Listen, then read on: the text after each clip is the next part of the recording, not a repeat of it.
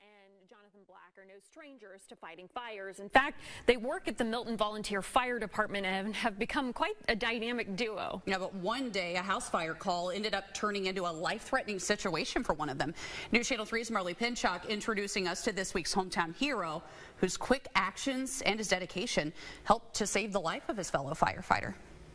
With each call firefighters like Isaac Bostic and Jonathan Black respond to, there's a risk involved. Every call that we go on, it's always in the back of our mind that something terrible can happen. Uh, we know that. We train for situations like this, but we never expect it to happen.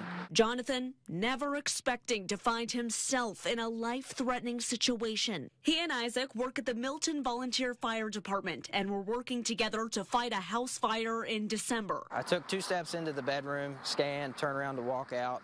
As I was walking out, the ceiling collapsed, uh, rendered me unconscious. Uh, obviously, I don't remember anything after that. In those terrifying moments, Isaac says he knew he had to act fast. I didn't know how much air he had left. I didn't know how much air I had left because I was so focused on getting him out. Like I, I didn't really even care about my own well-being. Isaac says fight or flight response kicked in and he called a mayday. He dragged Jonathan down the hall through the home and eventually was able to meet up with a couple of other firefighters to help get him outside.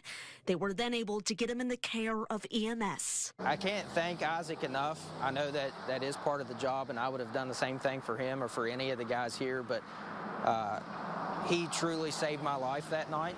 Uh, and I believe that, and I think everybody else does too. In Jonathan's eyes, Isaac has made a significant impact in his life. He's a good friend, fellow firefighter, and a hero. I'm not a hero. Um, I'm nobody special. I signed up to do this stuff. I know what the job entails. Uh, to me, it was just doing my job. So, on behalf of myself, Milton Volunteer Fire Department, and the entire community, despite what you may think, uh, you are a hero to some of us. So, we found it fitting that this week you be WSAZ's hometown hero. Oh, God. Yeah.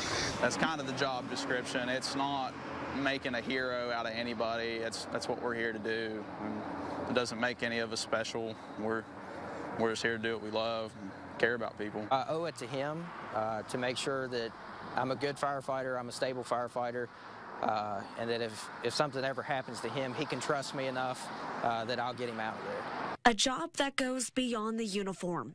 It's a brotherhood filled with selfless dedication for one another on every call. In Milton, Marley Pinchuk, WSAZ News Channel 3 very much deserving of that mm. award. Now, if you would like to nominate someone to be our hometown hero, you can send a letter to the address that you see on your screen or get an email to us at WSAZ.com. It's news at WSAZ.com. We always love to hear about the heroes in your community.